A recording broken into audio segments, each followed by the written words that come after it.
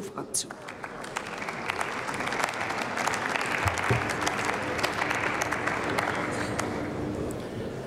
Frau Präsidentin, meine sehr verehrten Damen und Herren!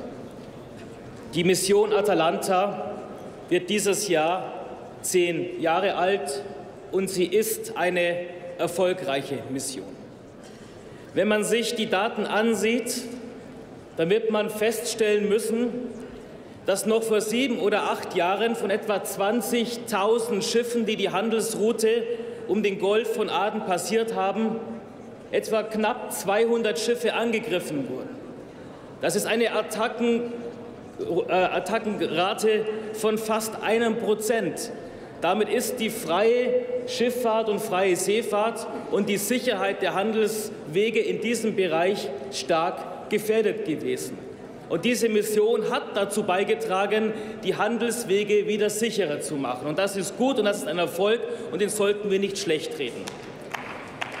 Und wenn jetzt darüber gesprochen wird, es läge gar keine Legitimation vor, Handelswege zu schützen, dann haben Sie, Herr Kollege Pflüger von den Linken, das UNC-Rechtsübereinkommen gar nicht verstanden.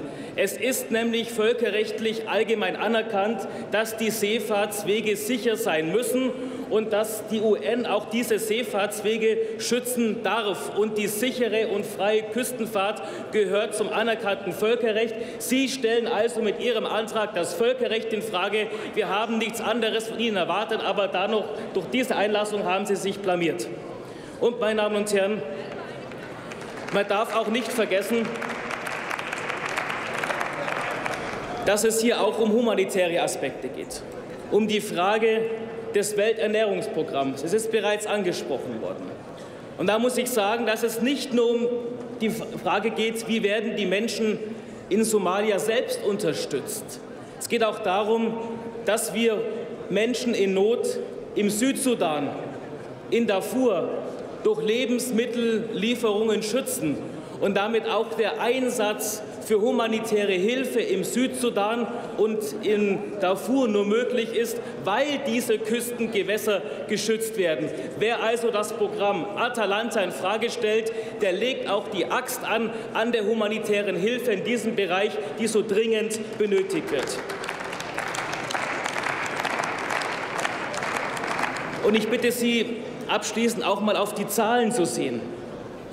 Wir nehmen diese Mission aus Verantwortung wahr.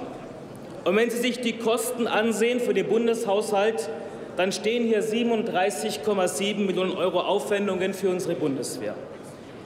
Aber unser Staat, unser Land hat allein im Jahr 2017 zur Bewältigung der Hungerkrise in Somalia über 140 Millionen Euro humanitäre Hilfe geleistet. Dazu kommen noch die Mittel aus dem Bereich der Entwicklungshilfe.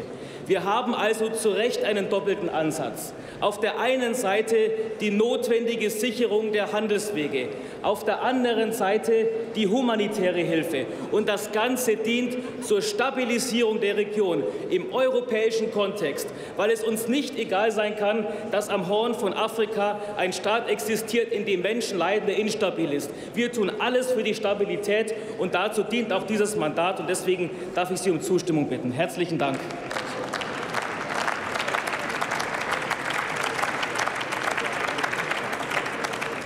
Liebe Kolleginnen und Kollegen, wir sind noch nicht am Schluss.